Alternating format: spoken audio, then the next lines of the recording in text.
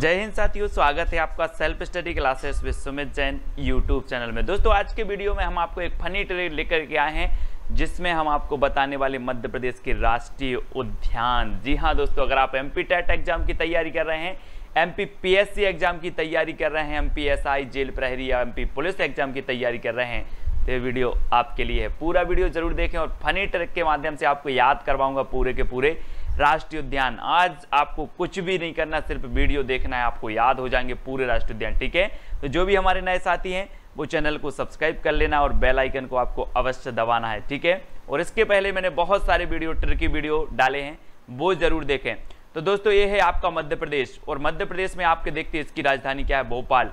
और भोपाल में आपका वन विहार राष्ट्रीय उद्यान है, ठीक है? सबसे पहले मैं आपको परिचय एक देता हूँ, उसके बाद आपको याद करवाऊँगा, ठीक है? माधव राष्ट्रीय उद्यान आपका शिवपुरी में है और यहाँ पर पन्ना राष्ट्रीय उद्यान है, पन्ना में।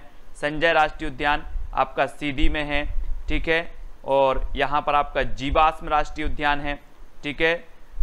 और बांधवगढ़ राष्ट्रीय उद्यान है आपका उमरिया में, बांधवगढ़ राष्ट्रीय उद्यान। तो ये चीज़ भी आपको याद रखना है। काना राष्ट्रीय उद्यान है दोस्तों आपका, मंडला में।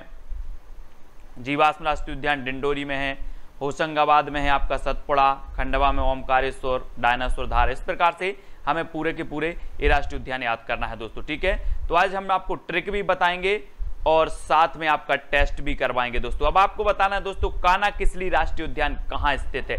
दो सेकंड आपको दिए जाते हैं और आपको बताना है कहाँ स्थित है।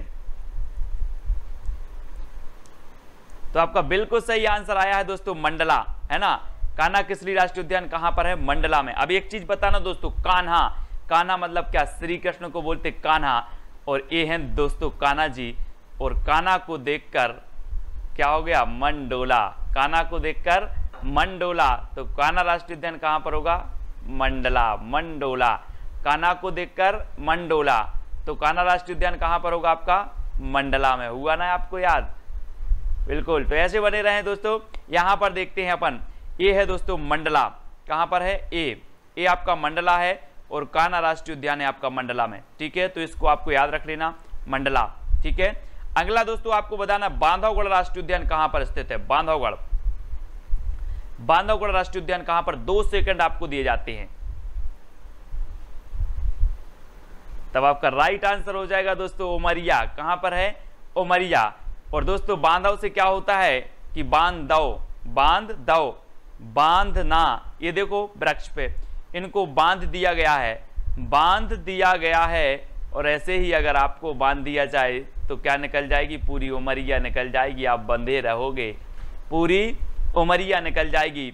तो यहाँ से क्या? बांधवगढ़ बाँध बाँध दिया जाए तो उमरिया निकल जाएगी उमरिया। ठीक है? तो याद रख लेना ऐसे ही। बांधवगढ़ से बना बाँध और बाँध दिया जाए तो उमरिया निकल जाएगी। चित्र के माध्यम से देख रहे हैं। इनको बाँध दिया गया है पेड़ से। है ना? और ये है दोस्तों आपका उमरिया। कहाँ पर है उमरिया? ए, उमरिया राष्ट्रीय उद्यान। उमरिया में है आपका ये बांधवगढ़ राष्ट्रीय उद्यान, ठीक है? बांधवगढ़ राष्ट्रीय उद्यान कहाँ पर है? उमरिया। याद रख लेना, यहाँ पर बांधवगढ़ में सफ़ेद शेर पाए जाते हैं, सफ़ेद शेर, ठीक है? ये भी याद रखना। अगला देखो दोस्तों, ओमकारेश्वर राष्ट्रीय उद्यान कहाँ पर है? ओमकारेश्वर राष्ट्रीय उद्यान। आपको दो सेकंड दिए जाते हैं आप जल्दी से बताना कमेंट के माध्यम से।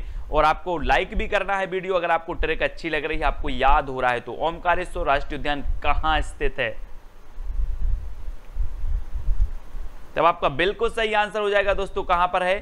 खंडवा। अब एक चीज़ बताना, ओम ऐसा बृहत मंत्र है, सभी धर्मों में पाया जाता है, इसका क्या नहीं किया जा सकता? खंडन नहीं किया जा सकता। क्या नहीं किया जा सकता? खंडन। तो ओम कारेश्वर राष्ट्रीय उद्यान कहाँ पर होगा? खंडन से खंडवा। खंड नहीं किया जा सकता इसका तो खंडवा। आपको याद रख लेना है, ओम ओम आया तो बोले, सर, ओम। और ओम ऐसा मंत्र है जिसका खंड नहीं हो सकता, अर्थात खंडवा। तो ओमकारेश्वर राष्ट्रीय उद्यान कहाँ पर हो जाएगा? खंडवा में। ठीक है? हुआ ना आपको याद? ठीक है? यहाँ पर देखो दोस्तों, ये है खंडवा। ये खंडवा है और यहाँ पर आपका ओमकारेश्वर राष्ट्रीय उद्यान है खंडवा में, ठीक है? ओमकारेश्वर राष्ट्रीय उद्यान, ये खंडवा है एमपी में। तो याद रख लेना, अगला क्वेश्चन आपको बताना है, पैंच राष्ट्रीय उद्यान कहाँ पर स्थित है? पैंच। पैंच राष्ट्रीय उद्यान कहाँ पर है? दो सेकंड में आपको उत्तर बताना है, और फिर मैं आपको फनी ट्रिक बताऊँगा, ठीक है? तो पैंच राष्ट्रीय उद्यान कहाँ पर है आपका? तो आपने बिल्कुल सही आंसर बताया है दोस्तों, क्या बताया है? शिवनी छिंदवाड़ा। कहाँ पर है? शिवनी छिंदवाड़ा। ये देखो दोस्तों, ये पैंच राष्ट्रीय उद्यान में यहाँ पर आपको दिख रहे हैं, जंगली जानवर यहाँ पर। तो ये पैंच राष्ट्रीय उद्यान कहाँ पर है? छिंदवाड़ा में है, सिवनी और छिंदवाड़ा में। तो दोस्तों, कभी आप शिव जी से पैंच नहीं लड़ाना शिव जी से पैंच नहीं फंसाना, नहीं तो आपको क्या कर देंगे? छेद देंगे। तो छेद से छिंदवाड़ा, और किससे नहीं फंसाना हमें? शिव जी से पैंच नहीं फंसाना, नहीं तो क्या कर देंगे? छेद देंगे। तो पैंच राष्ट्रीय उद्यान आपका कहाँ हो जाएगा? सिवनी छिंदवाड़ा। अगर आपके ऑप्शन में छिंदवाड़ा अकेला आए तो आपको छिंदवाड़ा लगाना है और सिवनी अकेला आए तो सिवनी, और सिवनी छिंदवाड़ा आए तो दोनों को लगा देना, ठीक है? ऐसे आपको याद रख लेना है कि पैंच राष्ट्रीय उद्यान हमें कि पैंच नहीं फंसाना शिवजी से, है ना? नहीं तो ये क्या कर देंगे? छेद देंगे। तो सिवनी छिंदवाड़ा में कौन सा राष्ट्रीय उद्यान होगा? पैंच राष्ट्रीय उद्यान, ठीक है?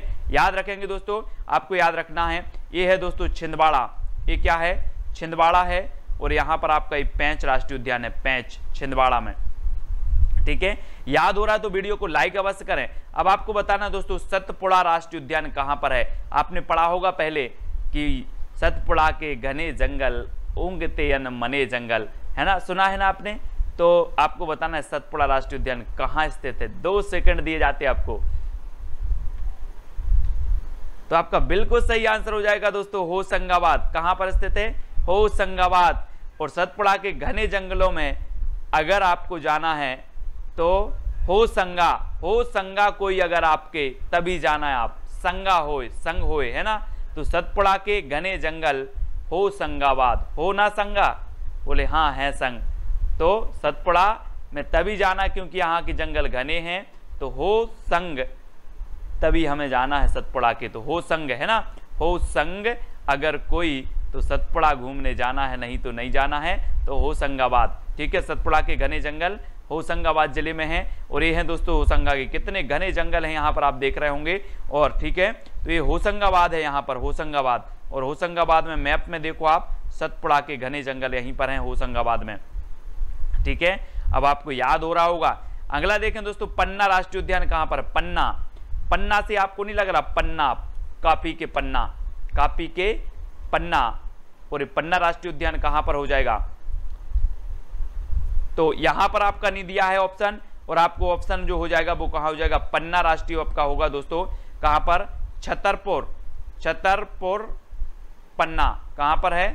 छतरपुर और पन्ना में, ठीक है? और पन्ना में आपको याद रख लेना है कि छत पर पन्ना फैल गए, छत पर पन्ना फैल गए तो पन्ना राष्ट्रीय उद्यान छतरपुर और पन्ना में होगा। ये चीज़ आपको याद रखनी है।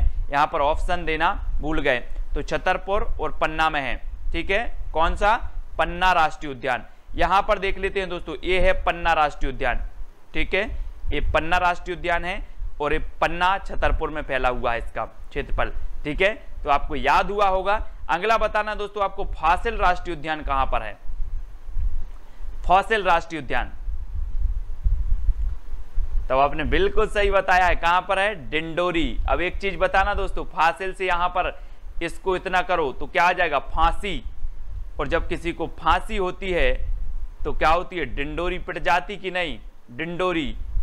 तो फासिल राष्ट्रीय उद्यान कहाँ पर होगा? डिंडोरी। ये देखो, किसी भी को फांसी होती है जब तो डिंडोरी पिट जाती है और सबको पता चल जाता है। तो फासिल राष्ट्रीय उद्यान, डिंडोरी। अपन बोलते ना यार कि बात को गुप्त रहने दो, डिंडोरी मत पीटो। बोलते वो ही है डिंडोरी तो फांसी लगती है तो डिंडोरी पिट जाती है। तो फासिल राष्ट्रीय उद्यान डिंडोरी में। ठीक है? अब आपको याद रख लेना है दोस्तों, ठीक है? यानी इसे क्या कहा जाता है? जीवाश्म राष्ट्रीय उद्यान भी कहा जाता है फासिल राष्ट्रीय उद्यान भी कहा जाता है डिंडोरी में। ठीक है? ये है आपका डिंडोरी। अगला क्वेश्चन है दोस्तों, आपका संजय राष्ट्रीय उद्यान कहाँ पर है? संजय। तो दो सेकंड में आपको उत्तर बताना है। और आपका बिल्कुल सही आंसर हो जाएगा। कहाँ पर है? सीधी सीधी। ये है दोस्तों संजय गांधी और ये बड़े कैसे थे? सीधे थे सीधे थे। कैसे थे? सीधे थे। तो आपका संजय राष्ट्रीय उद्यान कहाँ पर होगा? सीधी, क्योंकि जो संजय गांधी थे, वो कैसे थे? सीधे। तो संजय राष्ट्रीय उद्यान, सीधी। ठीक है? ये है दोस्तों आपका सीधी। सीधी जिला और यहाँ पर है आपका राष्ट्रीय, संजय राष्ट्रीय उद्यान। सीधी। है ना? संजय कैसे थे? सीधे थे। है ना? अब हमसे, अब आपसे मैं कभी प्रश्न पूछूँगा कि संजय कैसे थे? आप बोलोगे, सर, सीधे थे। तो संजय राष्ट्रीय उद्यान कहाँ पर होगा? सीधी में, है ना? हो रहा ना याद? याद हो रहा तो लाइक ज़रूर करें। अब आपको बताना माधव राष्ट्रीय उद्यान कहाँ पर है? माधव।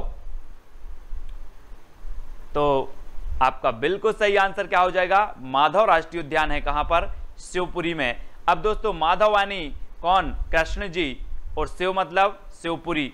शिव जी, है ना? शिवपुरी मतलब यहाँ पर शिव और माधव तो हमें माधव की भी पूजा करनी है और शिव की भी करनी है। तो माधव और शिव, ठीक है? माधव और शिव तो माधव राष्ट्रीय उद्यान कहाँ पर होगा? शिवपुरी। यानी कि जो विकल्प नंबर ए है, वो बिल्कुल सही हो जाएगा, है ना? और ये प्रथम पर्यटन नगर है मध्य प्रदेश का। प्रथम पर्यटन नगर कौन सा है? शिवपुरी है, ठीक है? और ये शिवपुरी में तात्या टोपे को भी फांसी दी गई थी। तो माधव राष्ट्रीय उद्यान आपका शिवपुरी में है, फ़िलहाल इतना आपको याद रखना है, ठीक है? अगला देखते हैं दोस्तों, शिवपुरी। ये है आपका शिवपुरी, यहाँ पर यहाँ पर माधव राष्ट्रीय उद्यान है आपका शिवपुरी में। ठीक है? अगला देख लो, डायनासोर राष्ट्रीय उद्यान कहाँ पर है? डायनासोर। डायनासोर बताना है हमें, दो सेकंड आपको दिए जाते हैं। तब आपका राष्ट्रीय उत्तर हो जाएगा दोस्तों आपका क्या? धार। क्या हो जाएगा? धार। अब इसको कैसे याद रखना दोस्तों? पहले आपने देखे होंगे डायनासोर के नाम सुने होंगे। इसके दांत इतने नुकीले होते हैं। देखो आप इसके दांत। अगर एक दांत आपको लग गया तो काय की? खून की धार निकल आएगी। ये देखो, खून की धार निकल आएगी। तो डायनासोर का दांत लग गया तो क्या निकल आएगी?